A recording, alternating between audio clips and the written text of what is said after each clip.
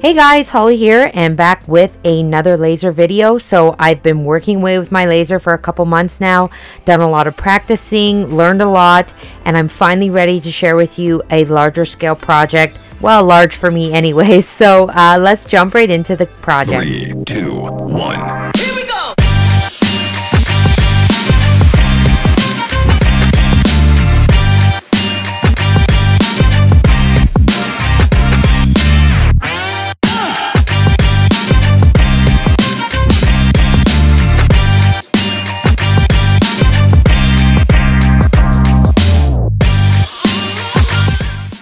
Guys, so what I've done here is I've just gone to Google and I did a quick Google image search for floral wallpaper vector and I'm looking for something that's black and white with um, really pristine detail and I found this one here.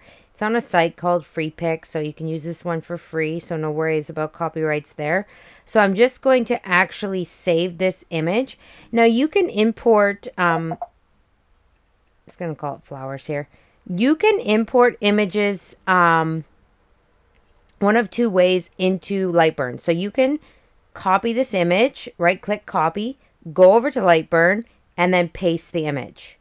And then it's there. That is a super easy way to do it. So I'm just going to shrink this down. Now, if you didn't want to do that, the other way to do it, but honestly, it's more um, involved, is you could actually save the image on your computer, and then you can go up here to this little paper with the import, and you can import it from your um, downloads. But honestly, just copying and pasting works so well. Um, so then I'm going to go ahead and I'm going to right click on this and we're going to trace our image here. So now you can see it does kind of a free, or not free, sorry, it does a first initial little tracing. Usually most times these are pretty good. It gets a lot of the details. But if you wanted to, you can slide these lower bars here and it'll, um, you can take the manual controls and you can get less detail or more detail, um, whatever you want based on your design. But I'm going to go ahead with what they did here. And then we just have to hit OK. Now, we still have our image here, so we just have to grab that, move it off, and then we're left with the tracing, okay? So now this we don't need, so we can just um, delete that. Right click and delete. But now I want to cut this out in a, or not cut it out, sorry, I'm engraving it in a circle. So what we're going to do is we're going to add a circle to our project. So I'm just going to click the circle and I'm going to bring it over top and do kind of a, oops, do a little circle over there. Now I'm going to move my circle a little bit here, or I'll move the image, sorry. Just, I want that nice big flower there. And then what we're going to do is we're going to um, click, drag, and hold over both the images. And then what we're going to do is a uh, intersection of the two shapes. So it's just loading there. And then what that does is it gets rid of all of the background um, and we're just left with our circle here. Now, since we're engraving this, I want to make sure that my settings are correct. So we're going to go ahead here and um, we're going to make sure that we have it on here. I have my save settings down here, these little colored bars. Um, I I like this one here, the orange one. That's the one I use for most of my engraving. So it does it at a speed of 500 and power 60. Just make sure the air is off. Now, before we do that, I do want to cut out some letters to go on here as well. So I'm going to go ahead and I'm going to create a text box. And I'm going to make this for my daughter. So I'm going to do Ava first. And I want that to be in big, nice big letters. So I'm just going to go through my fonts here. Now you can see I have my fonts um, stored in here from my computer. So I upload my own fonts uploaded here. I like this Ava. So we're going to go ahead and we're just going to, I'm going to change that to a cut here. And that way I can see it too. So I'm going to put the Ava over top.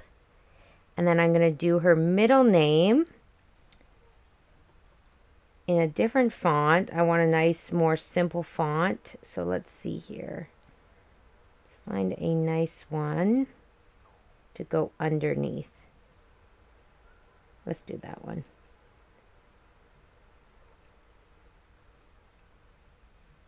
Actually, you know what? I'm, I think I'm going to change this one. Yeah, I want that bright.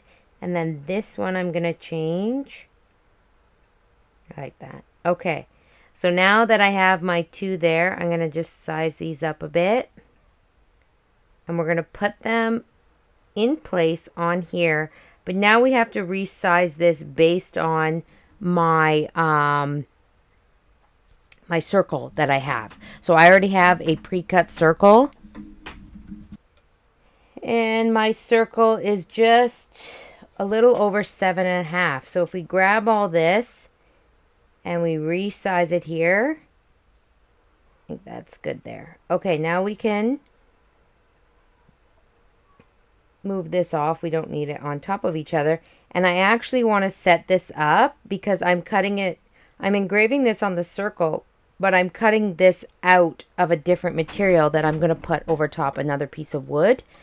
So I'm going to actually move them down a bit. So when we go up here, this little computer screen is the preview and it's going to show you um, where it's going to go on the thing. So if we hit play, we can see it's going to engrave that first. And then it's going to cut out our wood. And actually, you can just slide this if you don't want to watch the whole thing. You can see that it does that. That's the order that it's going to go in.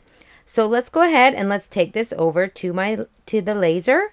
And um, we're going to see this in action. All right, so I'm going to fire up my laser here, turn it on, and then I'm going to go ahead and take the cable um, that I need to connect to my laptop that sends the design directly to the laser.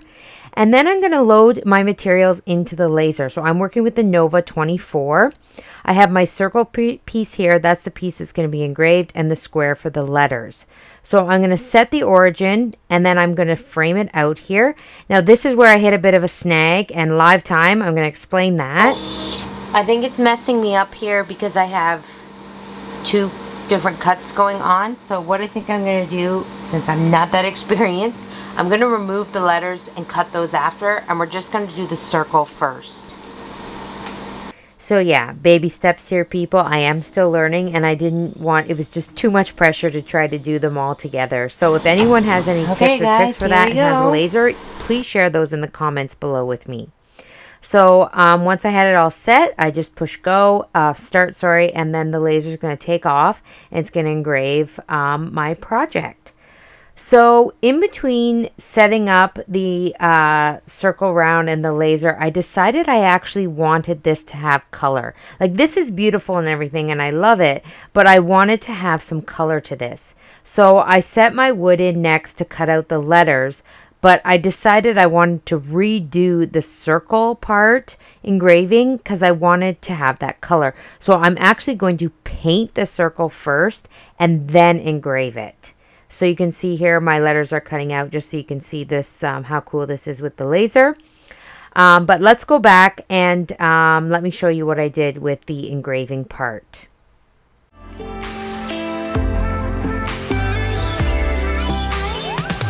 All right, so for the wood circle, I'm going to go ahead and I'm going to paint it with some Jitterbug from Country Chic Paint. This is a nice, rich, dark navy teal color, and it's just beautiful. So I'm going to paint that, and I'm going to let that fully dry. While that's drying, I'm going to go ahead and spray paint my letters with some hammered gold. And then I'm going to pop my circle back into the laser, and it's going to engrave directly over the paint. It's just an easier way to paint your pieces before um, and then you don't have to worry about painting and getting it in the engraved lines. So I'm going to clean off all the uh, dust in there from the laser. And then this is the finished one. So they're both beautiful, but I really like the dark, moody tones of this one. And it'll match my daughter's room. So I'm going to go ahead and lay the letters out. And then I'm going to just attach them with a little bit of E6000 glue. Now, I'm going to show you this one finished here with the pretty stage set. But I do want to ask you just to stick around at the end of the video because I did forget something that would be very helpful for when you're gluing the letters. So, um, but this is the finish sign here. It's beautiful. It turned out so well. And come on, guys, for like my fourth laser project, I would say this one is definitely a win. I still have a lot to learn, but honestly, it is going so well, and I cannot wait to dive into deeper, more involved projects.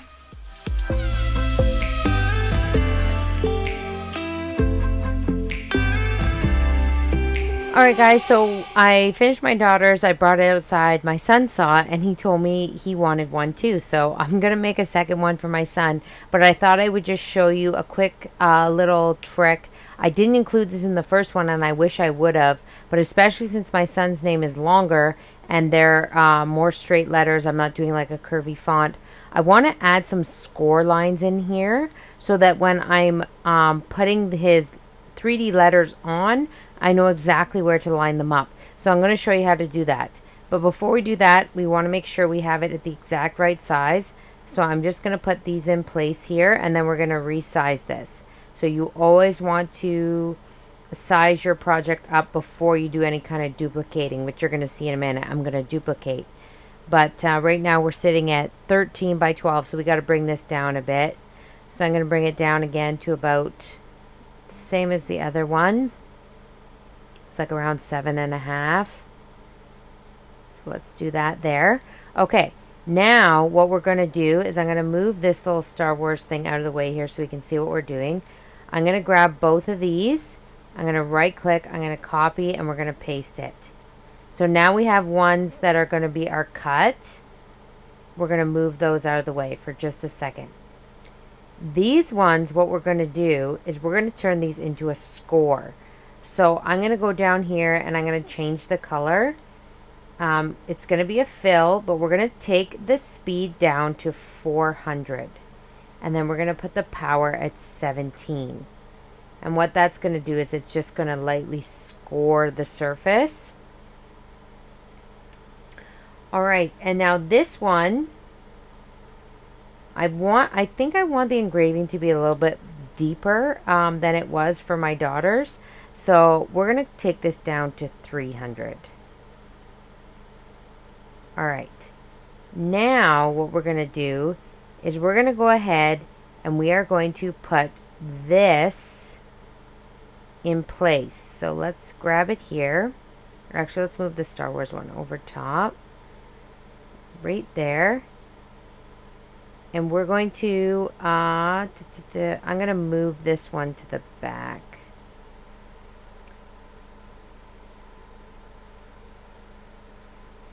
All right, so we just grabbed the fill for the 400 and moved that to the top. Now we're going to select this and we're just going to delete this for now and then we're just going to do this one first.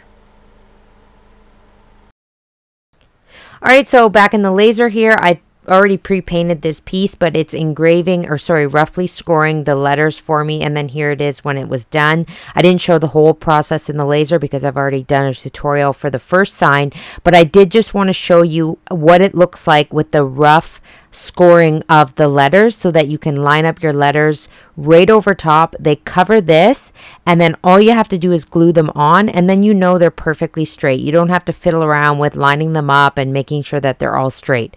So this is just one little helpful tip. I'm sure out there maybe there's a better way of doing this, but like I said, I'm just beginning with my laser, so um, I hope this helps maybe some people from a beginner standpoint. But if you know something better or you have another tip or trick, please feel free to comment those and let me know because, like I said, I'm just starting out with my laser, so I'd love to learn as well, and we can learn along together. So thank you so much for tuning into this video. I hope you enjoyed it. Have a great day, everybody, and we'll see you again soon.